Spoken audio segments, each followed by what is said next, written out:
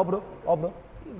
আমি অনির্বাণদাকে প্রথমেই রিকোয়েস্ট করে শুরু করব। পরের দিন থেকে ভাস্কর দা আসলে একটা এক বালতি এখানে বরফ রেখে দেবেন কারণ অন্যরা বলার সময় যাতে উনি একটু ঠান্ডা থাকেন বাকি আরে না না না ওটা প্লে অ্যাক্টিং আরে প্লে অ্যাক্টিং বলুন, বলুন, খেলা হবে আপনাদের বলার আছে। ইনজুরি বলুন, বলুন। প্লিজ ঠিক আছে বলুন। বলুন। আমাদের মনে আছে আমাদের মনে আছে পোস্তা ফ্লাইওভার দু হাজার ষোলোর বিধানসভা ভোটের আগে ভেঙে পড়েছিল। হ্যাঁ। তাই তো? এবং সাতাশ জনের প্রাণ গেছিল। ভাস্করদার আপনার নিশ্চয়ই মনে আছে। কিন্তু যেটা আমাদের মনে নেই সেটা হচ্ছে ওখানকার local TMC MP Sudip Bandyopadhyay. মিডিয়াতে স্টেটমেন্ট দিয়ে বলেছিলেন আমি একদম মিডিয়া রিপোর্টটা ক্যারি করছি যে মমতা বন্দ্যোপাধ্যায় অবগত ছিলেন যে ওইটাতে একটা যেটা যেই ডিজাইনটা ছিল পোস্তা ফ্লাইওভারের সেটা ফ্লফুল ছিল। ঠিক ছিল না। এবং এই প্রস্তাবনা এসেছিল যে ওই ফ্লাইওভারটাকে ভেঙে যাতে ঠিক করা হয় কিন্তু প্রচুর টাকা খরচা হবে বলে তৎকালীন তৃণমূল সরকার এই নেতৃত্ব ছিলেন ওনারা ডিসাইড করেন যে না যেরকম চলছে চলুক। তার ফলস্বরূপ যেটা হয় পোস্তা ফ্লাইওভার ভেঙে পড়ে যায় এবং সাতাশ জনের প্রাণ যায়। ওই এক্সাসি আপনি যে পাঁচ লক্ষ এক লক্ষ টাকা দিচ্ছেন ওইগুলোর গল্প ভুলে যান। এটা হচ্ছে আপনাদের মোটস অপারেন্ডি আপনারা মানসিকভাবে ক্রিমিনাল ক্রিমিনাল আমি বলছি দাঁড়ান দাঁড়ান দাঁড়ান দাঁড়ান। শুরু করেছি সবে শুরু করেছি দাঁড়ান। বলতে মাঝেরহাট মাঝেরহাট ব্রিজ ভেঙে গেছে উল্টো টাকা ফ্লাইওভার ভেঙেছে গেল। আজকে আমরা দেখলাম এই অবৈধ নির্মাণটা ভেঙে পড়ল তো? একশো চৌত্রিশ নম্বর ওয়ার্ড।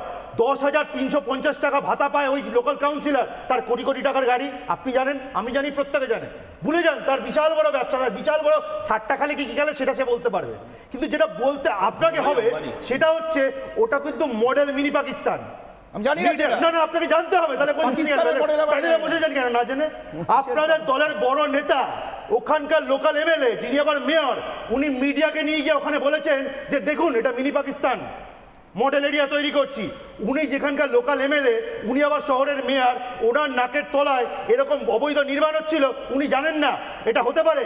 আমি ক্যারি করছিলাম ওয়েস্ট বেঙ্গল মিউনিসিপ্যাল অ্যাক্ট এই অ্যাক্ট অনুযায়ী আমাদের রাজ্যে সব জায়গায় সব মিউনিসিপ্যালিটিতে কিন্তু বিল্ডিং তৈরি হয়। এবং কেএমসিতে কেএমসি আপনি এই এক ধরে বা কেএমসি এক ধরে বলে দিন কোন ক্লজে কোন স্টাফ ক্লজে কোন রুলে লেখা আছে এরকম এরকম করা যায়। করা আপনি বলে দিন?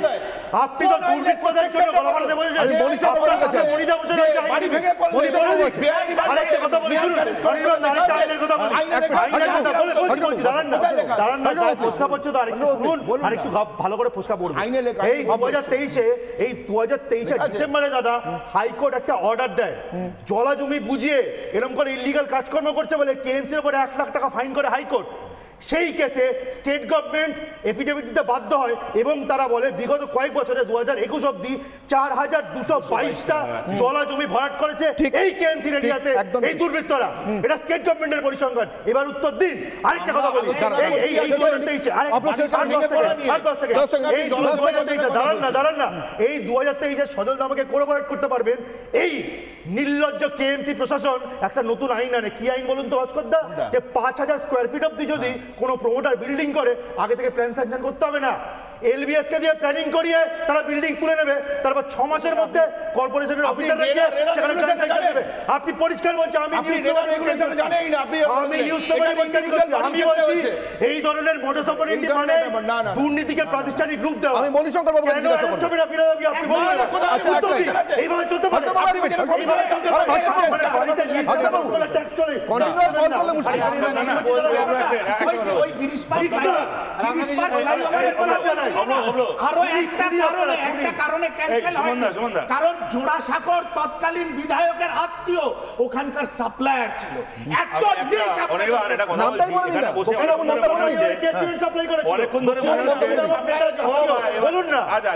আমি একটা কথা বলছি ভাস্কর না। তৃণমূলে যত দায়িত্ব নিচ্ছেন তার দশ ভাগের এক ভাগ দায়িত্ব যদি তৃণমূল ওনার নিত তাহলে না নিজেকে রাজনৈতিক বিশ্লেষক পরিচয় দিয়ে আসতে হতো না নিজেকে তৃণমূল বলতে পারতেন হ্যাঁ আপনি আপনি আপনি সবার মাঝখানে কথা বলেছেন। এবার চুপ করুন নাহলে আপনি কিন্তু এরপর আর বলতে পারবেন না। 30 সেকেন্ড হ্যাঁ, আমরা মনীষা একদম, বাবুর কাছে যাব। একদম। 30 দেখো, উনি একটা এই মানে বলতে বলতেও এটা খুব মানে মরা মরা বলতে বলতে ওরা রাম নাম করে ফেলেছেন। আর সত্যি কথা বলেছেন যে স্ট্রাকচারাল ডিফেক্ট ছাড়াও অসংখ্য অবৈধ বাড়ি আছে বেআইনি বাড়ি আছে। যেগুলো হয়তো বিরাট কোনো স্ট্রাকচারাল ডিফেক্ট থাকার ফলে এই মুহূর্তে ভেঙে পড়ছে না। ভবিষ্যতে পড়তে পারে ওখানে আগুন লেগে গেলে মানুষ ভেতরে পুড়ে মরতে পারে। কিন্তু এইটা ঘটনা যে এই কলকাতা শহরে এরকম একাধিক রাস্তা রয়েছে যেখানে গত দশ বছরে একটা বৈধ বাড়ি তৈরি হয়নি নট আ সিঙ্গেল প্রতিটা বাড়ি হচ্ছে ইলিগাল কি তার জন্য সরকারের যে ট্যাক্সটা পাওয়ার কথা পায়নি কর্পোরেশনের যে ট্যাক্সটা পাওয়ার কথা পায়নি, সেখানে যা যা, যে দামে ওটা বিক্রি হওয়ার কথা, তার থেকে অর্ধেক দামে কোনো রকম কাগজপত্র সারা লোককে বিক্রি করা হয়েছে। কিন্তু সেখানে একটা কাগজ না থাকা সত্ত্বেও শুধুমাত্র তৃণমূলের কাউন্সিলররা স্কোয়ার ফুট মেপে পয়সা নিয়ে ওখানে জল থেকে শুরু করে আলো থেকে শুরু করে সবকিছু দিয়ে ওগুলোকে রেগুলারাইজ করিয়ে দিয়েছে। আজকে একটা বাড়ি ভেঙে পড়েছে কিছু মানুষ মারা গেছেন বলে আমরা আলোচনা করছি। এত কিছুর পরও আমি তোমায় বলছি অনির্বাণ ইলেকশন ডিক্লেয়ার হয়েছে ইলেকশন কমিশনের সুপারভিশনে এখন রাজ্যে থানাগুলো রয়েছে। সেই কারণে আজকে সকালবেলা থানাগুলো থেকে সমস্ত প্রমোটারদেরকে বলে দেওয়া হয়েছে আপাতত দু মাস কাজ বন্ধ রাখো। একটা বাড়িও ভাঙার কথা না কাজ বন্ধ রাখো। দু মাস পরে আড়াই মাস পরে ভোট শেষ হয়ে যাবে আবার যেমন হবে। আচ্ছা, আমরা দেখতে চাই কটা বাড়ি ভাঙা হচ্ছে। কটা বেআইনি বাড়ি ভাঙা হচ্ছে কটা পুকুরকে আবার পুকুর হিসেবে ফিরিয়ে দেওয়া হচ্ছে। মনীশঙ্কর বাবু ব্যাপারটা হচ্ছে যে রাজনৈতিক যখন আলোচনা হবে রাজনৈতিকভাবে যখন কাউকে প্রোটেস্ট করা হবে তা অনেক কিছুই বলা বলার আছে। সেটা সেটা তো আমি যাচ্ছি না। সেটা আমি যাচ্ছি না। যদি মনে হয় যে কলকাতা কর্পোরেশনে কোথায় কোথায় অবৈধ নির্মাণ হচ্ছে তার জন্য মেয়র দায়ী তাহলে ভারতবর্ষের যেখানে হ্যাঁ, যা কিছু হচ্ছে তার জন্য?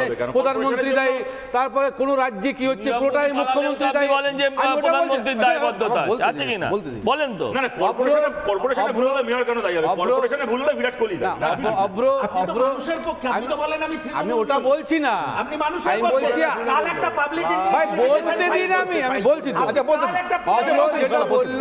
অভ্র অভ্র যেটা বলল একটা যে জলা জমিতে সেটা হচ্ছে ইনল্যান্ড ফিশারিজ একটা আছে একটা যেখানে ছ মাস পর্যন্ত যে জায়গাটায় জল জমে থাকে সেটা ইনল্যান্ড ফিশারিজ একটা আওতায় পড়ে সেটাকে ওদের ক্লিয়ারেন্স না নিলে সেখানে বাড়ি করা যায় না। সেটা একটা ইনল্যান্ড ফিশারিজ অ্যাক্টের যেটা তুমি বললে। যেটা হচ্ছে একটা একটা একটা হয়ে করা যায় না বললাম আমি। মানে ইনল্যান্ড ফিশারিজ না না না সেটা না। যেখানে আমি বলছি- ছ মাস পর্যন্ত জল জমে নেই সেটা জলজমি নয়। সেটা inland- আজকে যদি আমি একটা পুকুর বুঝিয়ে দিই কানায় কানায় মাটি ফেলে তাহলে ছ মাস সেখানে জল জমবে না। তাহলে বলছি যেখানে পুকুর আগের থেকে আছে সেটা পুকুর হিসেবে রেকর্ড আছে। শালি হ্যাঁ, হিসেবে রেকর্ড আছে। ওয়েটল্যান্ড হিসেবে রেকর্ড আছে। বলতে দিন আমি। wetland বললে ইন্টারাকশন একটা কথা আমি আমি আমি আমি আমি সাপোর্ট করছি আমি যেটা আমি বলছি একটা কথা শুনুন? আপনি বলছেন বটে আপনার বাড়িতে আপনার স্ত্রী পুত্ররা দেখছে। আমি এক মিনিট এক মিনিট। আপনি আপনি আজকে আপনার এইটাই শুধু বাড়ি আমি কি ভাই, শেষ করতে আমি কি বললাম?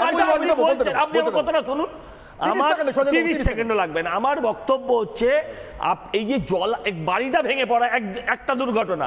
আর এই যে জলাকে ক্রমাগত বুঝিয়ে চলা এটা যে কত বড় দুর্ঘটনা এর পাপ থেকে আপনার পরিবার আপনি কেউ বাদ যাবেন না। এটাও আপনাকে ভাবতে হবে কারণ আমরা ইকোলজিক্যাল ব্যালেন্সটাকে নিয়ে খেলছি। এটা আমরা ওয়েদারকে নিয়ে খেলছি নেচারকে নিয়ে খেলছি।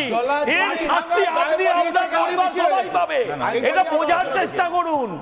নিজের ভালো পাগলে বোঝে আপনারা বুঝছেন না। আমি- আরে আপনি আপনি ওই ফিসারিস টিসারিস ছেড়ে দিন। আমি বলছি একশো আট নম্বর ওয়ার্ডে দুশোটা দিঘি বুঝিয়ে দিয়েছে। দিঘি ভেরি আমি বুঝিয়েছে বলছি তো। বলছি